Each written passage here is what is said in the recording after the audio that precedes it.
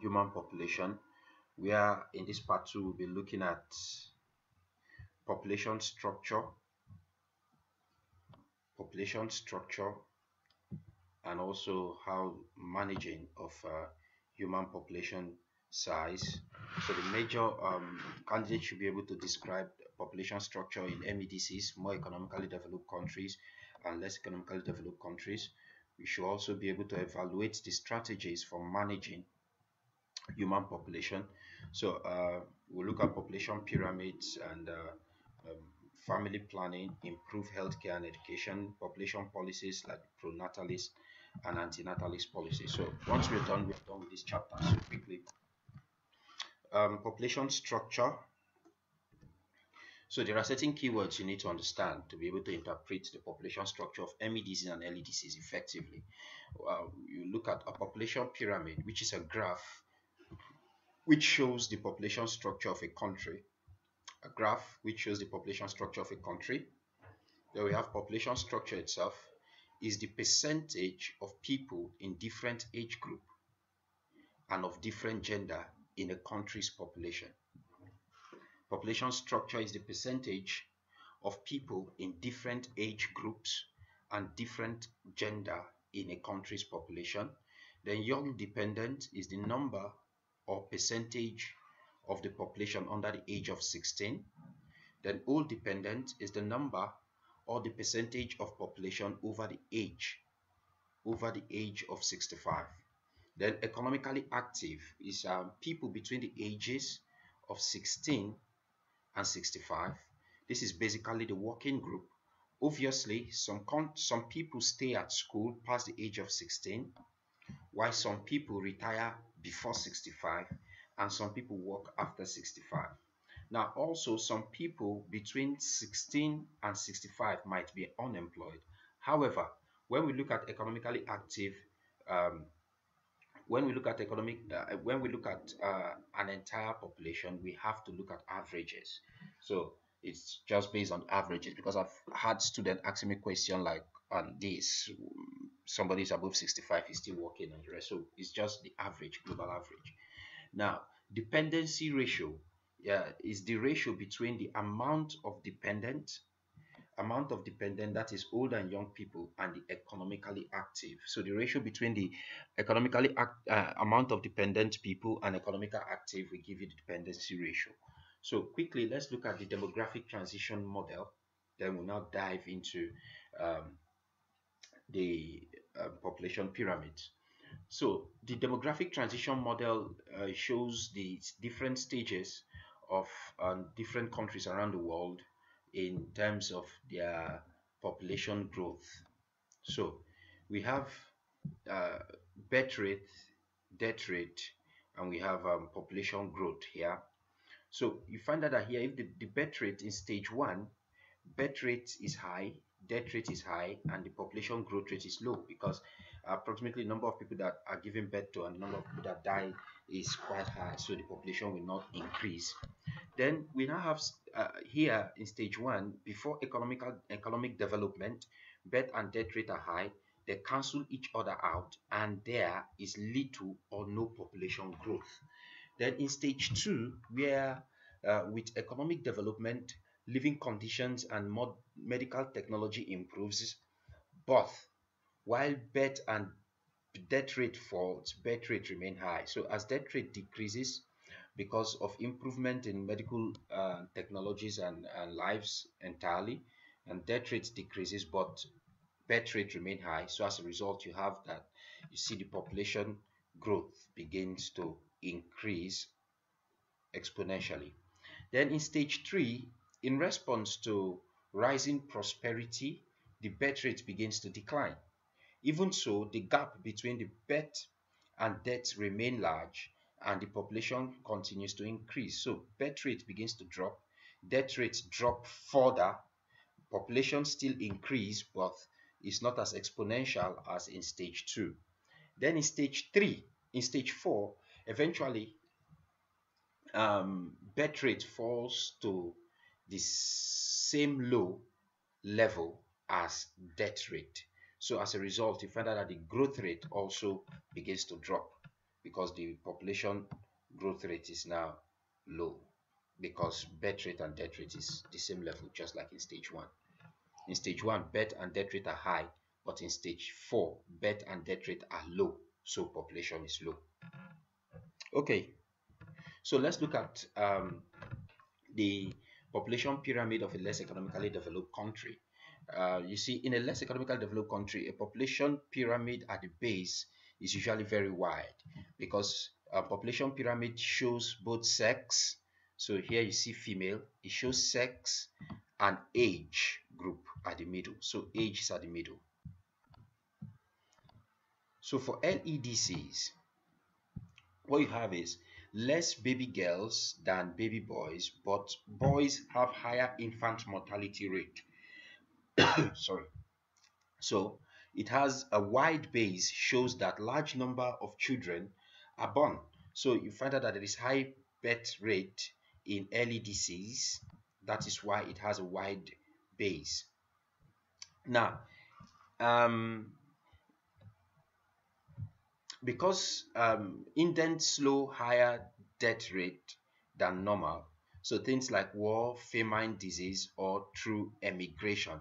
That is why at this stage as it moves up you find out that the bars each of the bars decreases because the number of people reduces uh, as they are being born they tend to migrate out of that particular location for a better life.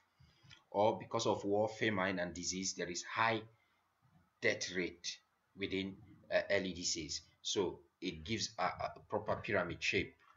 Then you find out that uh, people above the age of um, 65 above um, 70 above it shows also that they have low life expectancy because uh, people don't live really above uh, 75 80 years. That is why you find out that the bars here are quite really small so it has a narrow shape at the top which shows a low proportion of people living into old age and a high death rate so this is what it means. And here you have young dependent between the age of 0 to 16 approximately is young dependent. Then from 16 up to 65 here is the economically active. Then from 65 above is old dependent population. So advantages and disadvantages of having a youthful population. So because there is high birth rate, you find that that less economically developed country have a really high amount of young dependent uh, youthful population. So there is advantage for having that and there is also disadvantage. So some of the advantage include it provides a large and cheap workforce. There's enough people to work within the industry uh, and it, it provides a growing market for manufactured product and provide a large tax base for the country. These are the advantages. But and the disadvantages, it puts strain on education and health services. So education is actually strained. If you go to most of these LEDCs, uh, some schools don't uh, have a very high population that the amount of infrastructure there is not even enough for the number of students. Then it puts strains on food supplies. So as a result, there can be um, food scarcity uh, within those areas. Uh, it puts strains on availability of accommodation, so housing issues. People begins to live under the bridge and uh, within uh, those locations, so they don't really have a good uh, accommodation. So lack of available jobs in the future. So there is high possibility of having um, problem with um, job uh, availability of job and job opportunities. So let's look at annotating an MEDC population pyramid. So for more economically developed countries, you find out that uh, they have a low birth rate. So uh, as a result, they have a narrow base. So you find out that uh, the population of kids being born is quite low. So less baby girls than baby boys, but boys have a higher infant mortality rates than girls generally. So take note of that and girls tend to live older longer than boys. So if you look at the life expectancy in more economically developed countries it's from 85 years and above.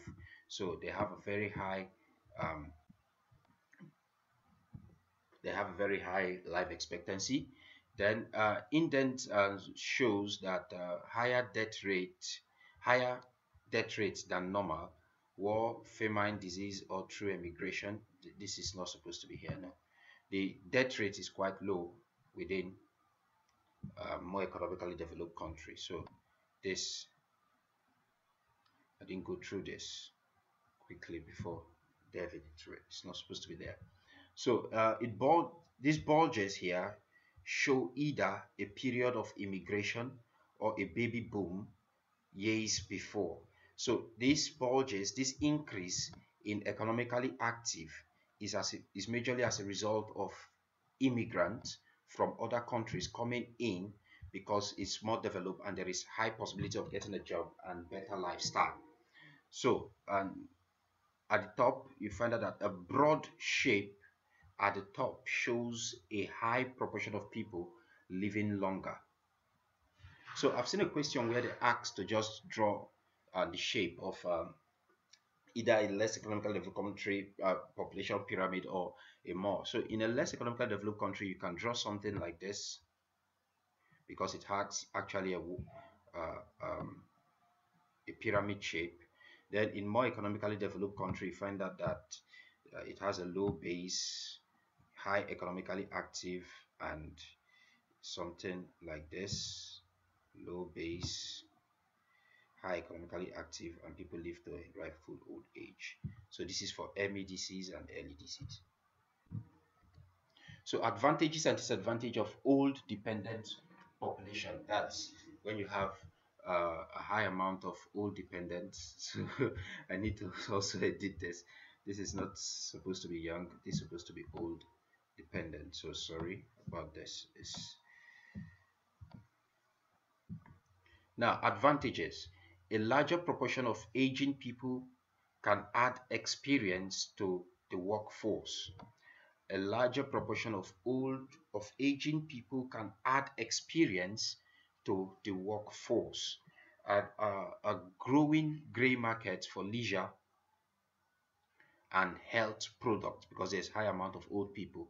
Construction boom in favor of uh, retirement locations such as costa del sol in spain for old people now a disadvantage of having high old dependent population is cost of um, providing pension, health care, and shelter housing lead to increased tax on a proportionally small workforce. Many young people are employed caring for the elderly. This harm a country's competitiveness since they are not producing products for export. And countries like this are actually difficult to defend because most of the uh, most of them are old, so they have a low um, the uh, military force also. So managing population size.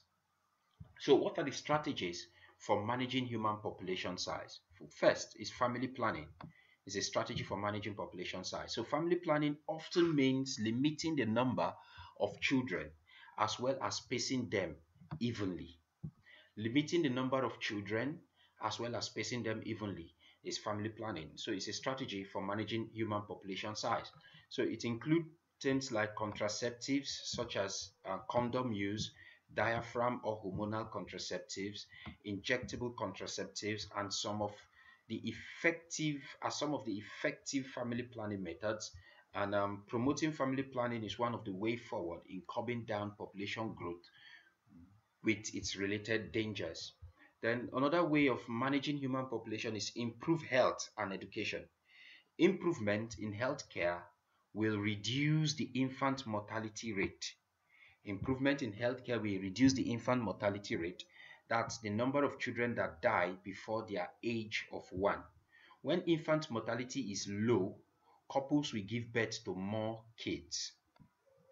When infant mortality is low, couples will give birth to more kids because there is a low probability of their survival and vice versa. So education help to reduce early marriage. It helps to increase the number of career women, which on the long run reduces population size. So the next we'll look at population policies, which are also um, factors that help to cope uh, strategies for managing human population also is um, population policies. So we have pro-natalist policy. Now, a policy that encourage couples to have more children. Now, you cannot force people to have more children, so you have to offer them incentives. Incentives like free childcare or even money for them to give birth to more kids. Now, antinatalist policy is a policy that attempts to reduce birth rate. This might be through better education and supply of contraceptives or through more stricter policies like China's one child policy. So um, I'm practically done with this topic, but I found I saw this in a, a past exam paper, so I just feel like I should add it to it, which is what is the impact of population growth on the environment? Impact of population growth on the environment uh, in terms of air and water pollution.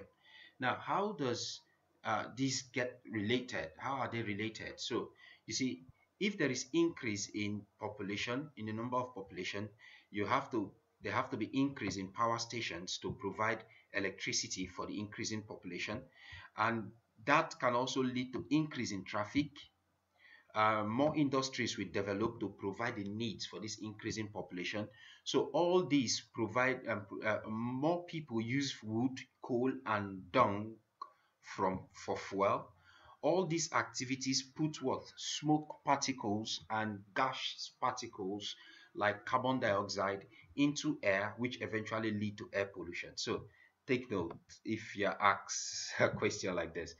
In the case of water pollution, more rubbish not collected we get into water courses. Sewage system will be unable to cope with increased population. Many slum dwellers do not have toilet. So sewage usually not treated. Human and animal defecate in water courses and industrial discharge waste into water. So all these uh, increases due to increase in human population and eventually lead to increase in water pollution. So, and thank you. Um, we'll now look into um, chapter 9 um, uh, swiftly.